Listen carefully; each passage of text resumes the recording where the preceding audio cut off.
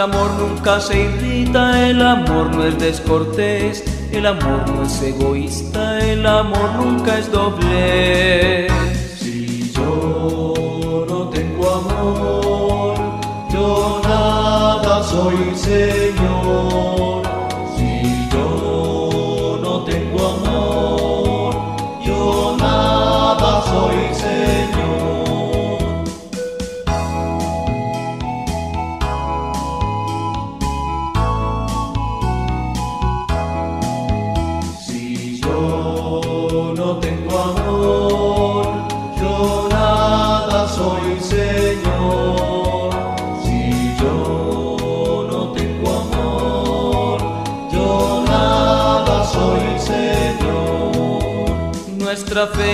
Esperanza frente a Dios terminarán. El amor es algo eterno, nunca, nunca pasará. Si yo no tengo amor, yo nada soy, Señor. Si yo no tengo amor, yo nada soy, Señor. El amor disculpa todo, el amor es caridad. Se alegra del injusto, solo goza en la verdad. Si yo no tengo amor, yo nada soy, Señor. Si yo no tengo amor, yo nada soy, Señor.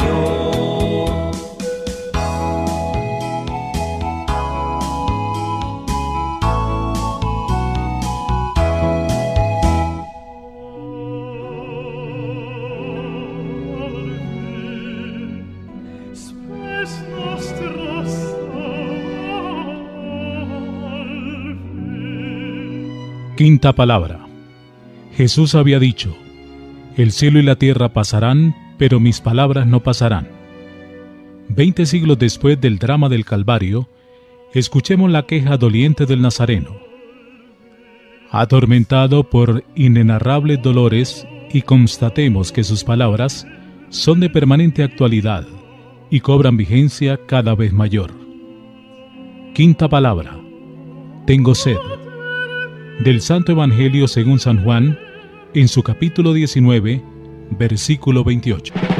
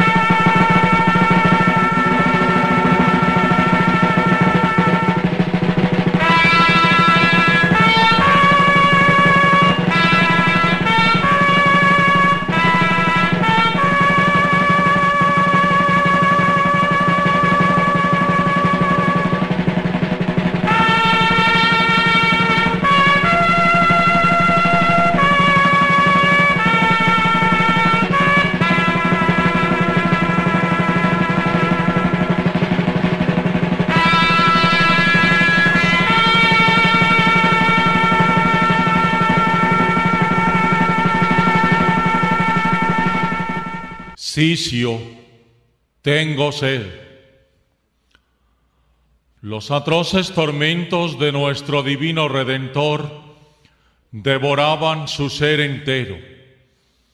Su cuerpo padecía en todos sus miembros y su alma santísima experimentaba inauditas amarguras. De sus labios hubieran podido brotar continuas quejas y habría sido justísimo que se lamentara de cualquiera de sus horribles suplicios. Él, sin embargo, para cumplir la profecía de Isaías, fue llevado a la muerte como un cordero y no desplegó sus labios para quejarse. Pero había en las sagradas escrituras una frase que aún no estaba cumplida. Me ofrecieron vinagre para calmar mi sed, anunció en nombre suyo el profeta David. Era la sed uno de los más crueles tormentos de los crucificados. No sólo sus fauces resecas y anhelantes imploraban el corto alivio de unas gotas de agua, sino que todo su ser la reclamaba angustiosamente y no pocas veces sucumbía ante la fuerza atroz de este suplicio. También lo presintió el salmista. Se resecó como una teja mi vigor y mi lengua se pegó a mi paladar. Y como no había de ser así, una noche de insomnio, de angustia y de maltrato, largas horas de acusaciones, injurias y atropellos, la bárbara crueldad de los azotes, la corona de espinas, las burlas, los escarnios, el terrible camino del Calvario. Y aquellas lentas horas de agonía no habrían sido bastantes para agotar todo el vigor del más robusto de los hombres. Su cuerpo se abrasaba en el tormento y su lengua aridecida y seca se pegaba del todo al paladar. ¿Cuánto habría de ser torturante e inhumano ese suplicio para que el profeta haya querido anunciarlo y sobre todo para que aquella víctima tan paciente y callada, aquel cordero que no desplegaba sus labios en medio de los tormentos, se haya quejado únicamente de él? porque en efecto sus labios divinos, ya casi exhaustos, se entreabrieron de nuevo para hacer resonar esta sola palabra, Sicio, tengo sed. Pero para él no había ya compasión ni misericordia. Acude presuroso entonces uno de los soldados, y empapando una esponja en un vaso de vinagre que allí cerca estaba, la coloca en la punta de una caña y la arrima sarcástico a sus labios. También esa crueldad se realizó con él. La última profecía estaba ya cumplida. Me ofrecieron vinagre para calmar mi sed. Sí era la sed ardiente de sus fauces resecas, era la sed ardiente de su cuerpo abrasado la que lo atormentaba en el Calvario. Era un hombre como nosotros, padecía, sentía profundamente su dolor, se abrazaba de sed y lo manifestaba. Más bien sabéis que en aquel hombre Dios se ocultaba otra sed mucho más grande, más torturante, más abrasadora que aquella horrible sed del cuerpo y de los labios. Su queja no buscaba el alivio de aquel tormento físico que sus verdugos, bien lo sabía, iban a acrecentar con su insolencia. Su queja denunciaba el tormento del alma, la sed abrasadora del espíritu de aquel que había dicho, si tú conocieras el don de Dios, quizá le habrías pedido y él te hubiera dado agua viva. Las palabras a la mujer samaritana junto al pozo de Sicar. El que beba del agua que yo le diere no tendrá jamás sed, porque el agua que yo le daré producirá en él una fuente de agua pura y limpia que salte y bulla hasta la vida eterna. ¿No era él acaso el que había dicho, si alguno tiene sed, venga a mí y beba? Y sin embargo ahora él no pudo apagar su sed divina y parece que hubiera querido expresar antes de morir tan solo aquel deseo para que los hombres de todos los siglos trataran de colmarlo. Sed, ¿no era esa sed la que lo había arrancado a los esplendores de la gloria del Padre para hacerlo tomar un cuerpo como el nuestro?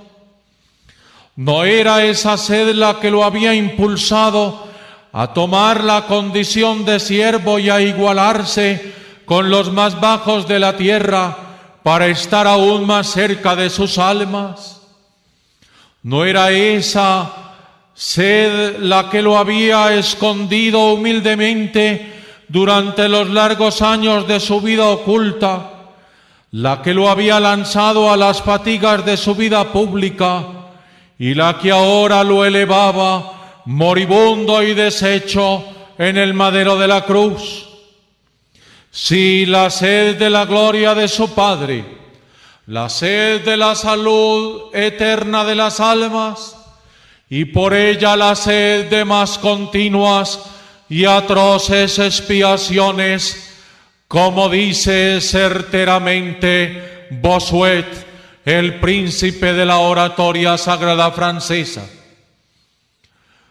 Para ese Dios que así lo abandonaba, él quisiera atraer al mundo entero, instruirlo, inflamarlo y transformarlo todo en un himno perpetuo de alabanza a la gloria del Altísimo, cuyos designios de misericordia y de amor han sido y serán siempre para los hombres del todo inescrutables.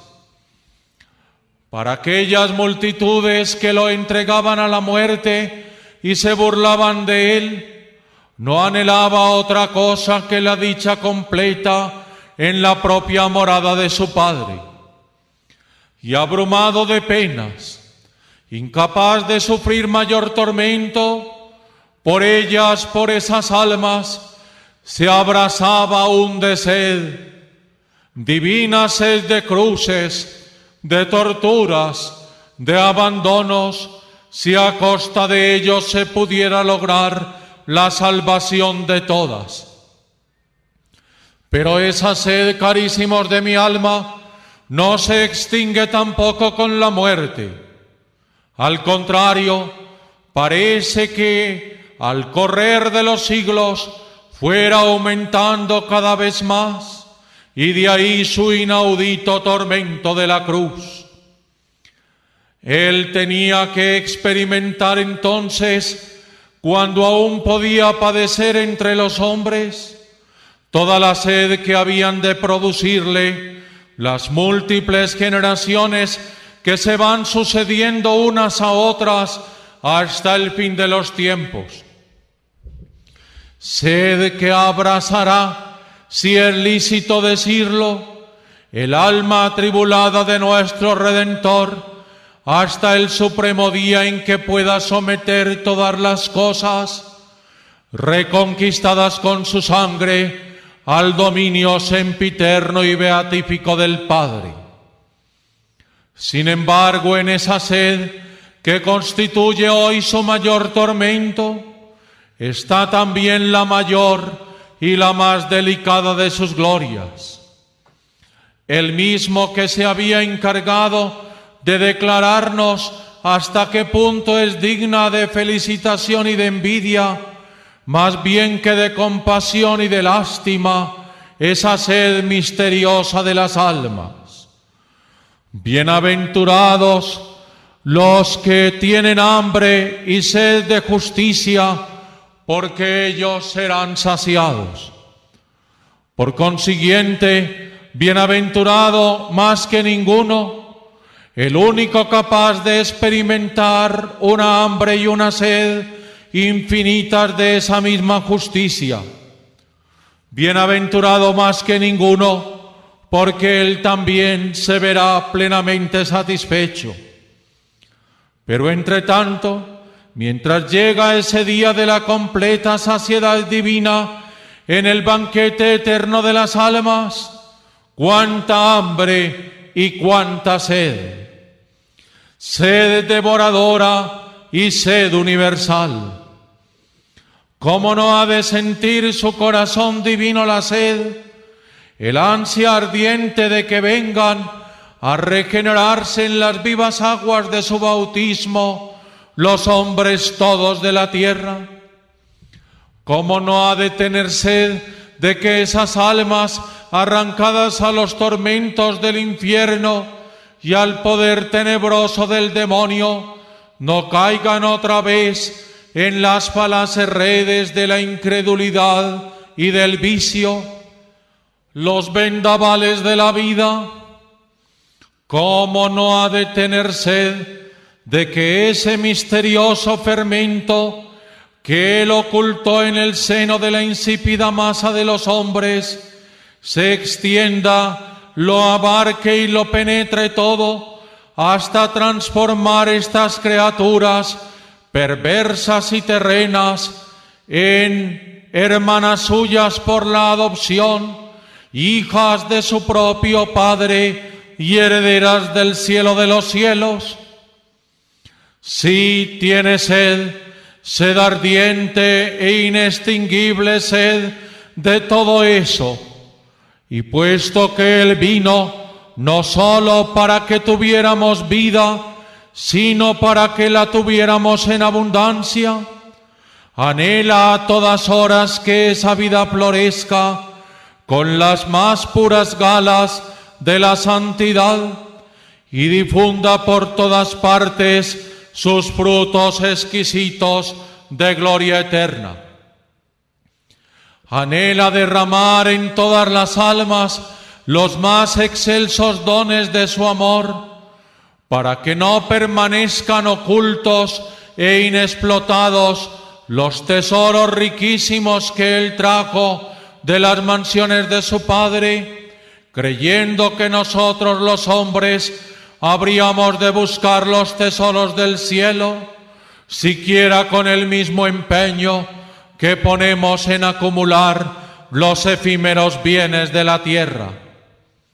Y por eso anhela con todo su corazón, está misteriosamente sediento de ver en nuestras almas esa misma sed de santidad y de justicia, de perfección y de virtud, de verdad y de amor que a Él lo devora. Pero hoy, lo mismo que hace más de veinte siglos, parece que al pie de su cruz solo hallara verdugos y enemigos. Las pocas personas amigas que lo acompañan y que lo compadecen, no pueden o no quieren extinguir esa sed. En cambio, sus enemigos están listos a todas horas para acercar a sus divinos labios el agrio y repugnante vinagre de sus odios, el asíbar de sus indiferencias y de sus desprecios. Tengo sed, clama Jesucristo, de las almas recién abiertas de los niños, a los cuales siempre he querido agrupar alrededor de mí. Y la moderna sociedad Los cristianos del siglo XXI acercan a sus labios el amargo vinagre de la ignorancia y la inmoralidad en que dejan crecer a las generaciones nuevas para hacerlas en frase de nuestro mismo divino Redentor, herederas del infierno dos veces más que las actuales. Tengo sed, clama Jesucristo, de las púdicas almas femeninas, en las cuales he depositado los más dulces encantos de la hermosura y del amor, para que fuesen ellas las fuentes siempre frescas y abundosas de donde brote más que la vida transitoria de la carne, esa vida inexhausta del espíritu que no conoce ancianidad ni muerte. Pero la sociedad moderna, los cristianos del siglo XXI, acercan a sus labios ese turbio vinagre de la lujuria y de la corrupción, a la que inducen desde niña a la mujer incauta, para extender y propagar traidoramente por el mundo el vaho pestilente de su desenfreno y de su perversidad aterradora. Tengo sed, clama Jesucristo, del alma noble y recta de los hombres que deben dirigir con firmeza y continuo sus familias, la sociedad entera, por entre los escollos y borrascas de la vida, hacia las playas de esa eternidad que yo predico y a la que tiende siempre, quiéralo o no, la más honda ambición del corazón humano.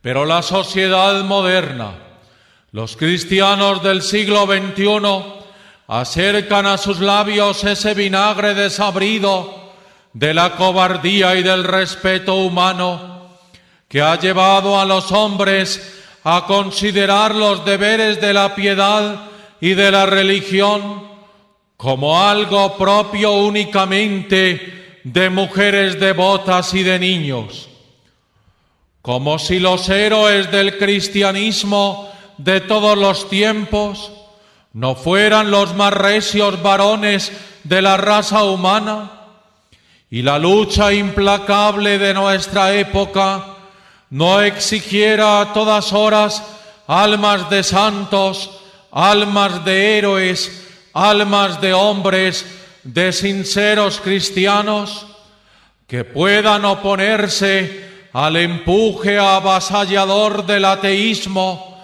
a la astuta campaña de un capitalismo en decadencia, y al ataque incesante de tantos errores modernos.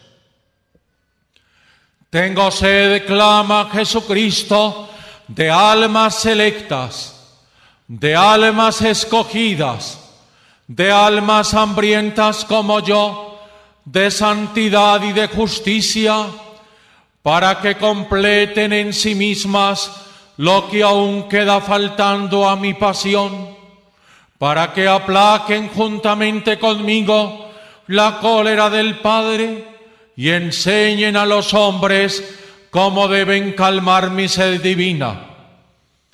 Pero cuántas aún de esas almas escogidas, privilegiadas y selectas, solo brindan a Jesucristo el vinagre repulsivo de la tibieza y la mediocridad un corazón mezquino que invitado a la heroicidad y al sacrificio, vive siempre buscando una acomodación discreta para seguir sirviendo a dos señores. Porque a cualquier error se puede consagrar la vida entera, el corazón y el alma. A la verdad, en cambio, parece que bastara consagrarle las energías sobrantes, el residuo de afecto y de entusiasmo que no se logra emplear en otra cosa. Oh Jesús, Jesús sediento en el Calvario nuevo de este Viernes Santo, eleva una vez más tu súplica doliente. Haznos sentir hasta el fondo del alma el continuo tormento de tu amor. Repítenos a cada paso esa sola palabra que nos manifiesta mejor que cualquiera otra tu amable, tu insondable corazón. Sicio, tengo sed. Repítela, Señor. Quizás alguno de nosotros se resuelva por fin a ofrecerte algo distinto del vinagre para calmar tu sed. Quizás logres al fin arrancar de nuestra alma, de nuestras familias, de nuestra sociedad, aun cuando sea una sola gota de esa agua pura del verdadero amor que tanto anhelas y que tan mansamente solicitas. Apaga, Señor, en nuestras almas la baja sed de los placeres y ambiciones de esta vida y pon en ellas algo siquiera de esa tu sed divina de perfección y de justicia, para que no tengas que castigarnos un día con la sed inextinguible de aquel rico avariento que sepultaste en los infiernos, sino que puedas darnos la recompensa de que tú ya gozas, el premio que tú mismo prometiste a los bienaventurados que sufren hambre y sed de justicia, la posesión perpetua de tu plena y divina saciedad. Da, Señor, a nuestras almas sed ardiente y haz que se cumplan en ellas las frases bellas del poeta. Cuanto en el mundo existe, si yo lo poseyera, cuanto en el mundo existe, no me puede saciar. Es todo muy pequeño, mi corazón muy grande, es todo muy pequeño, yo necesito más. Como la tierra seca suspira por el agua, como la tierra seca así suspiro yo. Yo quiero, Jesús mío, amarte con locura, ser siempre todo tuyo, de todo corazón. Como el siervo sediento se lanza hacia la fuente, mi espíritu impaciente se lanza hacia su Dios y bebe de esas aguas que dan la eterna vida, mas hay siente enseguida la misma sed de Dios. Yo tengo sed ardiente que me devora el alma, yo tengo sed ardiente, yo tengo sed de Dios.